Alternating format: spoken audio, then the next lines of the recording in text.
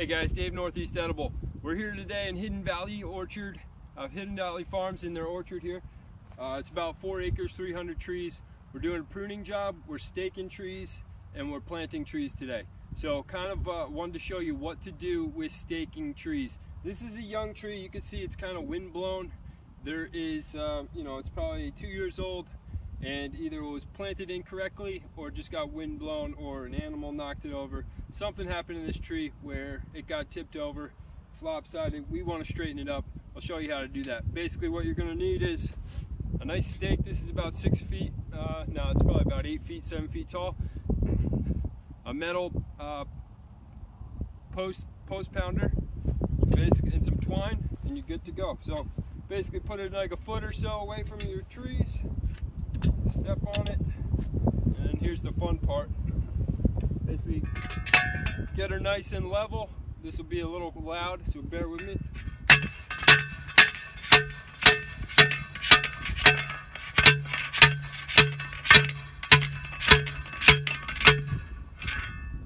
All right, nice and solid in there. Toss that to the side, get out your twine. So you get basically going to make sure this tree going vertical and then you'll tie it up like that. When you're doing this, don't use wire.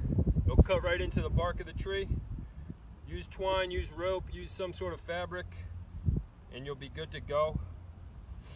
And basically give it a little bit of pressure. Wrap it around this guy a couple times.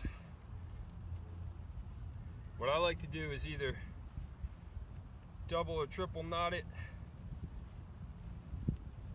or even uh, wrap it twice. That way you know it's not coming undone.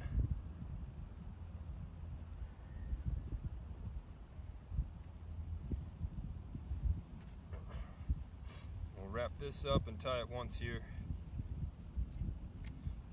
Just so we know it's nice and straight.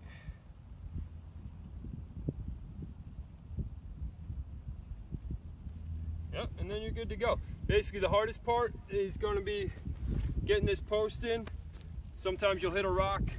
Um, the post, post hole pounder is a little bit heavy. I think it's about 20 pounds, but we're gonna do this for about another 20 more trees and then we'll be good to go. This orchard is probably about two years old. This is the second year. This is, we're gonna, uh, we're doing a maintenance plan where we're gonna thin all the fruit this year, let the trees grow with their root systems, let their let vegetative, the trees grow vegetatively, and then two years from now, next season, we're gonna have a ton of fruit on these trees, and uh, people, people are gonna have great fruit for years to come. 300 trees is gonna be a lot of fruit, it's a lot of work, but uh, years, years of trees and years of fruit. So, Dave Northeast Edible, subscribe to the YouTube channel. If you like videos like this, hit the like button, share them with your friends, and have a great day, guys. Take care.